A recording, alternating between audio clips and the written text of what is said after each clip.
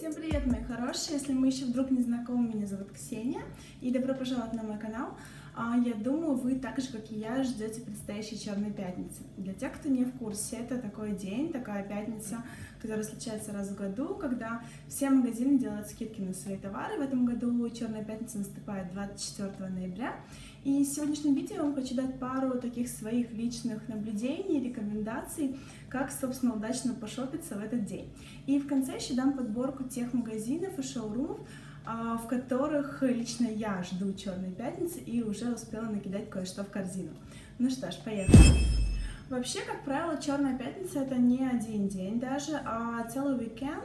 Начинается он обычно в 23.59 четверга, но это если ваши магазины в торговых центрах работают еще в это время. Длится всю пятницу и э, субботу и воскресенье. По опыту не могу сказать, что Черную пятницу можно сравнить с рождественским сейлом в Италии, но в целом э, мне каждый год удается купить э, себе что-нибудь эдакое, классное, красивое э, по цене ниже обычной. Также я больше говорю сейчас об одежде и косметике, наверное, но в целом Черная пятница распространяется на все магазины, будь то, не знаю, товары для дома, бытовая техника, э, вообще все что угодно. Что следует предусмотреть заранее? Во-первых, подготовьте себе список покупок, такой вот э, шопинг-лист, который позволит вам не отвлекаться, не накупить много чего лишнего в этом всем ажиотаже и в целом сэкономить время. Я на самом деле только недавно поняла, действительно поняла, как ценно наше время. То есть если раньше я могла там бесцельно шататься по торговому центру или серфить по интернет-порталам в течение нескольких часов, то сейчас я иду целенаправленно в какие-то конкретные магазины за какой-то конкретной одеждой. И, собственно, призываю вас всех прям хорошо подготовиться к скидкам, потому что пока вы будете ходить по ненужным вам магазинам, ну, которые вас вряд ли чем-то привлекут, вы просто даже не только время потеряете, вы потеряете запал. И потом уже, а, придя в какой-то классный магазин, где именно то, что нужно, у вас уже, вам уже не захочется лишний раз что-то мерить, там, раздумывать, и настроение, оно как бы будет уже потеряно. Номер два. А, определитесь с бюджетом, который вы готовы потратить, а, собственно, в этот день. Отталкиваться очень легко как раз-таки от того списка покупок, который вы хотите. Установите какую-то себе сумму и, ну, в идеале вообще не берите с собой больше денег, больше, чем эта сумма. Ну, опять же, тут все индивидуально. Я, например, научилась достаточно спокойно реагировать уже на, на какие-то вещи, и э, я четко понимаю, сколько я могу потратить, сколько нет, независимо от того, больше у меня с собой денег или нет. Но все эти маркетинговые уловки, рекламные ходы, они действительно работают, поэтому я вас призываю не вестись на них и быть бдительным. Номер три. Промониторьте заранее цены. Зайдите прямо на интернет-сайт интересующего вас магазина, лучше там за неделю, ну вот как сейчас, например, и посмотрите, сколько стоит та или иная понравившаяся вам вещь. Потому что, ну, это не мудрено, что ритейлеры очень часто прям перед э, скидками, вот такими вот событиями, как Черная пятница, например, искусственно завышают цену, чтобы потом ее как будто бы сделать ниже, на самом деле она оказывается еще выше, чем была до этого. Поэтому промониторьте цены желательно в разных магазинах, чтобы, опять же, быть беспристрастными и сделать правильный выбор по выгодной цене. Номер четыре. А, в день, тот самый день шопинга, приходите в торговый центр пораньше. В идеале это прямо к 10 утра, то есть к открытию магазина. Ну, если он открывается раньше, то, соответственно, раньше. А, Причем, если вы не работаете в пятницу, то это вообще неоспоримый плюс, потому что это будний день, и людей, ну, вообще практически будет мало. Если же вы работаете в пятницу, то, ну, естественно, как только успеете, а, ну, либо же а, в 10 утра в субботу. Опять же, почему, если вы не хотите стоять в километровых очередях в примерочных и вообще пытаться что-либо рассмотреть, э, когда мерчендайз, он как бы полностью отсутствует, и все вещи вот так вот свалены клубками, э, размеры не найти, на вешалках тоже непонятно что. Ну, конечно, когда людей э, меньше, намного комфортнее шопиться. Совет номер пять. А, принимайте решение быстро. Тут, как говорится, не время медлить. В идеале это вы должны заранее уже выбрать вещь, которая вам нравится, просто прийти в магазин в нужный день и сразу же ее купить. Если же это что-то новенькое, и вы начинаете раздумывать, сомневаться, то, ну, если сомневаетесь, э, я считаю, что лучше не брать.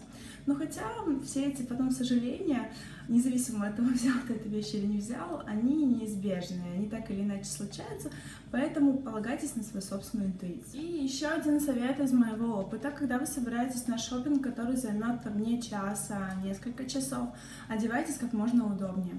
А, это правда важно. А, особенно важна, важна удобная обувь. Верхнюю одежду лучше оставить в гардеробе или в машине. А, сумочка ваша не должна занимать руки, то есть у вас должны быть обе руки свободные, чтобы все хорошенечко рассмотреть, пощупать. И в идеале это какая-то сумка на длинном ремешке, типа кроссбади или на плечо. И что еще очень важно, в целом должны быть одеты так, чтобы вам было легко э, снять вещь там, в примерочных, легко переодеться, что-то примерить и так далее. То есть какая-то очень узкая горловина на свитшоте, сняв один раз который, у вас уже будет какой-то сумасшедший бум на голове, но она вряд ли вам подойдет. Или там множество меленьких пуговиц. А, и а, еще момент волос. Если у вас длинные волосы, то их лучше, конечно же, собрать. Опять же, чтобы они вам не мешали при примерке и вообще вам не было от них жарко и было комфортно. Еще коротко скажу об онлайн-покупках. На самом деле к ним применимы все те же советы. Составить список заранее, промониторить цены. Единственное отличие, такой очень удобный лайфхак – в онлайн-магазинах можно заранее накидать все интересующие вас вещи или там товары какие-то в корзину и уже только при наступлении Черной пятницы подтвердить заказ.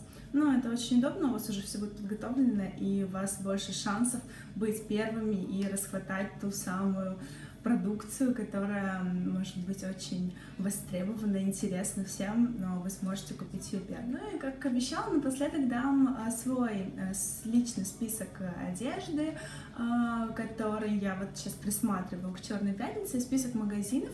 Я оставлю вот здесь их э, визуалы.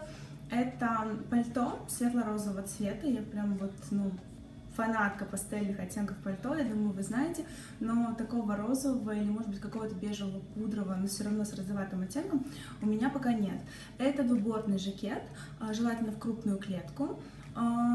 Если говорить о магазинах, я там напишу, в каких я сейчас э, присматриваю подобные варианты жакетов, блейзеров. А, также это ботинки на шнуровке, такие стандартные армейские boots.